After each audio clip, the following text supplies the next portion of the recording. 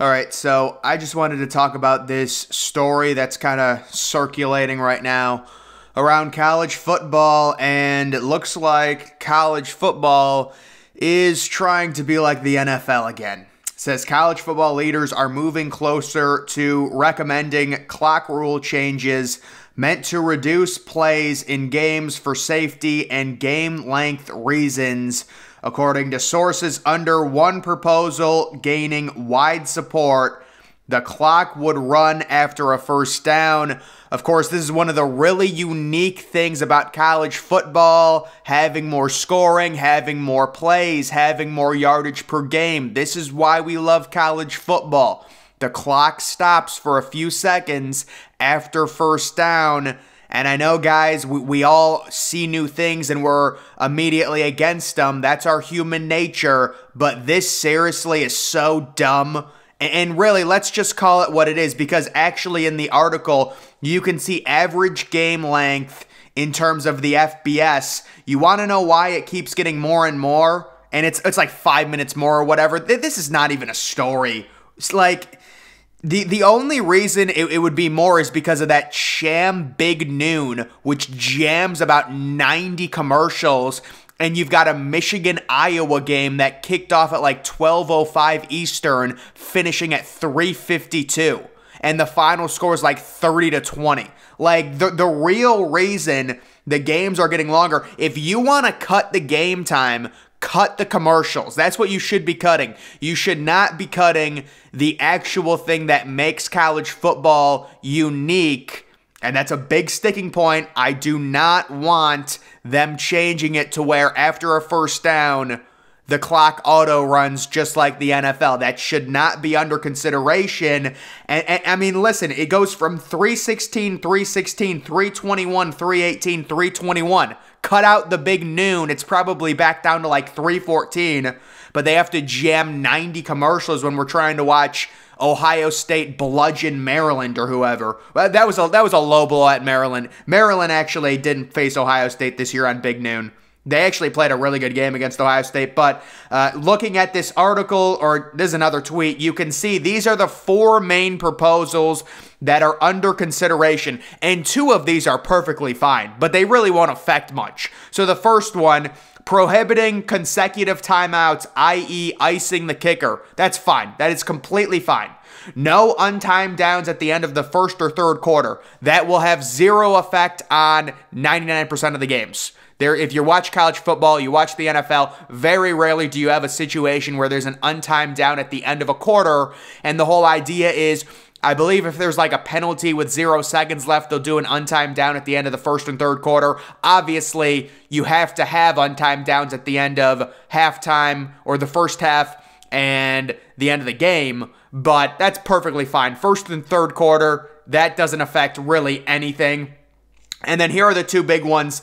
Like we said, the clock runs after first downs except inside of two minutes in the half, which I am against. And then how about this one? Clock runs on incompletions once the ball is spotted. Bro, what are you talking about? Come on. So the idea is let's say a team kicks off to another team, it's a touchback. First and 10 at the 25. 15 minutes left in the first quarter. You're going to tell me the quarterback drops back to pass, throws an incompletion.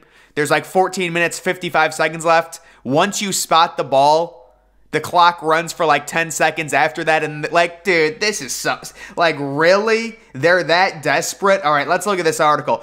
High ranking college football leaders have been reviewing four specific changes to clock rules, two of which are considered non controversial, which I would agree. One has garnered wide support. Oh, great. And a fourth that has left some divided. The non controversial proposals include prohibiting consecutive timeouts, icing kickers, no longer extending first and third quarter for an untimed down if the quarter ends on a defensive penalty uh, while those are considered to be incremental changes that will save only a fraction of time, the other two proposals are more significant. In a third proposal that is garnering wide support, the clock will continue to run after an offense gains a first down except inside of two minutes and a half. In a more controversial fourth proposal, the clock will continue to run after an incomplete pass once the ball is spotted for play. So let's just play arena football then. I mean, seriously? While the changes would be implemented this fall, they are several weeks away from final approval. It later says, however, many officials involved in the process expect at least a portion of the proposals to pass, something that did not happen last year during a similar exercise. So, I mean, obviously, those two that we were talking about that really didn't make a change, if those two pass, that's perfectly fine. Uh, the big issue is the third one that apparently is getting wide support where they're basically making college, you know, making college the NFL where after a first down the clock keeps going, which is so dumb. We want more plays, we want more action. That's what college football is all about.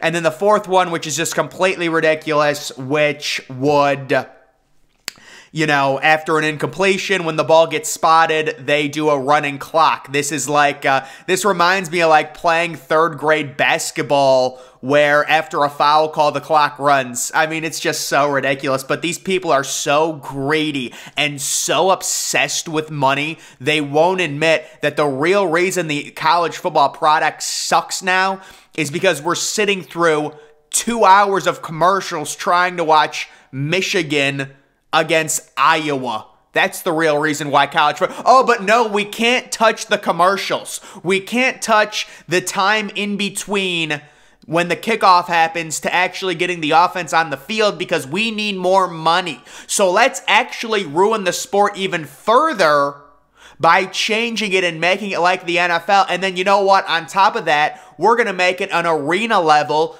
Pee Wee level where we're just going to have a running clock no matter what because we want to cut down on the time. And you know what? Now, with a running clock, we can actually have more commercials because the game's going to go faster and there's going to be less plays. That gives, you know, Big Noon. I mean, Big Noon can go and fit a whole Super Bowl ad in there. They can do like a Super Bowl. That's what, that's Big Noon's next big plan. They're going to do a Super Bowl halftime that takes up 40 minutes and we're going to try and sit through a halftime show that's 40 minutes long Meanwhile, we're sitting there and Ohio State is beating Northwestern by 25, and it's like, what is this? This is a joke. You gotta, I mean, this is just, like, I, I don't know. It's three hours. Is that really that long? You know, I like I I understand people complain. And listen, I'll be one. I was one of the persons that complained about the length of the game I never once said, gee, you know what? Let's just have running clocks. What I said was when Fox decides to do a kickoff, cuts to commercial, comes back out. Oh, no, no, wait a minute. This is what they do. This is what Fox does. Someone scores a touchdown, right? Uh, you know, kick the extra point, they go to commercial after the touchdown. The kickoff happens. They go to commercial right after the kickoff. So you're back to back commercials, and then you're wondering, Let's no, you know what? Let's just ruin it. It's not it's not the commercial's fault.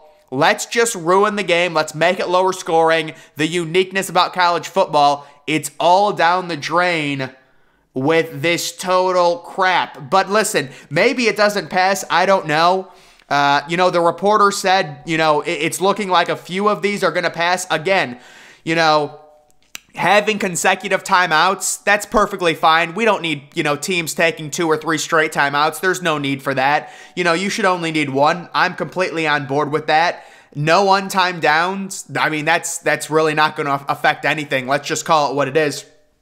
I mean, just think back over the past 5 years, how many untimes downs has your team been involved in at the end of the first or third quarter? it's just really not going to have an effect. So if those two go into place and the other two don't, this is a non story. We're completely fine. The issue is, he said the third one, which is basically making the college football like the NFL, is getting support.